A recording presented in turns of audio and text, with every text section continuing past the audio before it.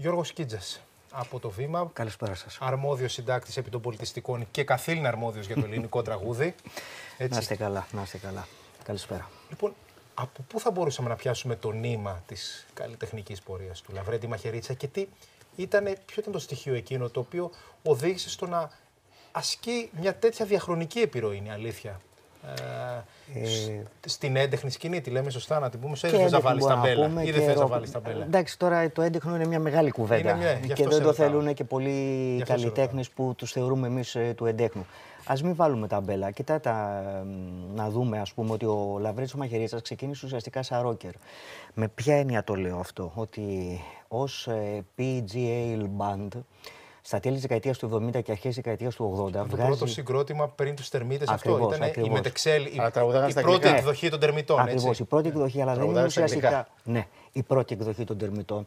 Είναι ένα συγκρότημα το οποίο έχει γίνει ε, στο progressive rock γνωστό σε όλο τον κόσμο. Οι δίσκοι του είναι σπάνιοι και συλλεκτικοί. Συγγνώμη, τα αντίτυπα τα οποία κυκλοφόρησαν είναι σπάνια και συλλεκτικά γιατί βγήκε σε πολύ λίγα αντίτυπα επειδή υπήρχε ένα πρόβλημα με τους στίχους ε, και σε πάρα πολλά ξένα site ε, παρουσιάζονται ως η θρύλη της rock. Είναι κάτι το οποίο νομίζω δεν το ξέρει και πάρα πολλοί ε, κόσμος εγώ πρώτη φορά αυτό. Και εγώ το ίδιο. Ακριβώς. Ε, Τρομερά ενδιαφέρον. Αρμαγεδόν λεγόταν μάλιστα το πρώτο τους ε, άλμπουμ. Ένα και μοναδικό βγάλανε. Βγάλανε και ένα extended play, αλλά μην μπλέξουμε τώρα σε τόσες λεπτομέρειες.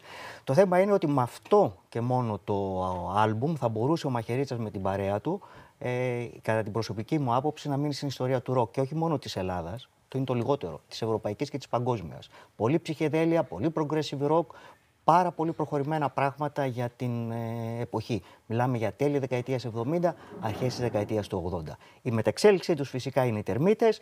Ε, μεγαλώνουμε όλοι, οριμάζουμε ενδεχομένω, κινούμαστε σε άλλους δρόμους και μετά τους τερμίτες πήρε τη όλο ε, πορεία του που είχε μεγάλο. Δεν, που δεν επέμεινε στο, στο εξωτερικό, στην, σε αυτό που λέμε διεθνή καριέρα. Νομίζω ότι είναι πάρα πολύ δύσκολο να γίνει αυτό το πράγμα ε, από Έλληνες mm δημιουργούς. Ε, μετά τώρα στράφηκε ίσως και στο χώρο το δικό του. Ξέρετε, καμιά φορά οι επιλογές είναι αυτές που οι οποίες σε καθορίζουν. Ένα ναι ή ένα όχι, γιατί μπορεί να μην θέλεις ή Σωστό, ναι. οτιδήποτε, ας πούμε, μπορεί να σε οδηγήσει σε έναν άλλο δρόμο, ο οποίος δεν ήταν και αποτυχημένος. Κύριε βεβαίως. Προς Θεούς στην Ελλάδα μιλάμε. Δηλαδή, εγώ είδα έτσι δύο φορές στο, στο Γιάλινο που έκανε τις εκπληκτικές παραστάσεις με τον εξίσου σημαντικό Νίκο Πορτοκάλογλου και ήταν συνέχεια sold out. Ναι, ακριβώς. Δηλαδή, ό,τι έκανε ήταν. Και σχεδόν όλες του, ναι, όλες του οι συναυλίες, είτε και οι μουσικές παραστάσεις που έκανε το χειμώνα και sold out είχαν και μάλιστα ε, μπορούμε να το πούμε ότι ήταν και από τις πλέον ξεκούρασες εντός εισαγωγικών η λέξη οι παραστάσει του Λαβρέντη με την έννοια ότι πάρα πολλοί κόσμοι ήξερε τους τοίχου των τραγουδιών του και ουσιαστικά τραγούδαγε ο κόσμος μαζί το ενδιαφέρον με τον Ανάμεσα στα τραγούδια ε, μεσολαβούσε, εντάξει, δεν ξέρω αν το μπορεί να το πει κάποιος πολιτικός σχόλιο ή τέλος κοινωνικά μηνύματα έντονα. Υπήρχαν κάποια κοινωνικά μηνύματα. Γενικώς και στις συνεντεύξεις του δεν μασούσε τα λόγια του. Και μάλιστα Παρ' όλα αυτά δεν έγινε αντιπαθής. Ήταν από τους καλλιτέχνες που ενώ είχε καθαρό λόγο, mm-hmm. Είχε την, την, την. Όχι, δεν ήταν αντιπαθής. Εγώ πιστεύω ότι μεγάλο ρόλο έπαιξαν τα, τα τραγούδια του. Σε αυτό, ε, ναι, γιατί άλλοι καλλιτέχνε είδαμε ότι πήραν θέση. Ακριβώς. Ειδικά το, την περίοδο 14-15 mm-hmm, και βάλαν απέναντι τους κάποιους ε, θαυμαστές. Ε, απογοητεύτηκε ο ναι. ναι. Νομίζω ότι ο Λαβρέτη δεν το έκανε αυτό το πράγμα. Και γύρισε Ακριβώ. Ε, απογοητεύτηκε. Από τη στιγμή που έκανε solo καριέρα και ιδιαίτερα από ένα σημείο και μετά, ανοίχτηκε έτσι σε συνεργασίες του και με λαϊκούς τραγουδιστές. Βεβαίως, βεβαίως. Έχει κάνει εδώ πέρα τώρα έχω μπροστά μου σημειώσεις. Είναι δηλαδή από Μαρία Φαραντούρη, Γιώργο Νταλάρα, Σαββόπουλο, τι να σας λέω τώρα, Γαλάνη, Μητροπάνο. Παπακοσταντίνου, δηλαδή με τον Τζακνί που ήταν ουσιαστικά δίδυμο, δίδυμο και υπάρχουν και ανέκδοτα που οι πολλοί τους μπερδεύανε. Στην αρχή νομίζαν ότι ο Λαβρέτη ήταν ο Διονύσης και ο Διονύσης ο Λαβρέτη. Γενικώς, ναι, ήταν ένας ενεργός ε, πολίτης.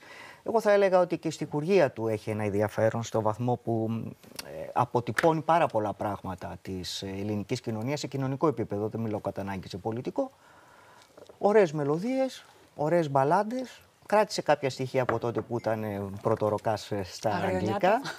Τα πέρασε και νομίζω ότι ο κόσμος τον αγάπησε πάρα πολύ. Και δεν νομίζω υπάρχει άνθρωπος που δεν έχει ψιθυρίσει ένα τραγούδι χωρίς κατά ανάγκη ε, του Λαβρέντι ενώ, χωρίς κατά ανάγκη να γνωρίζει ότι είναι ο Μαχαιρίτσας. Μάλιστα.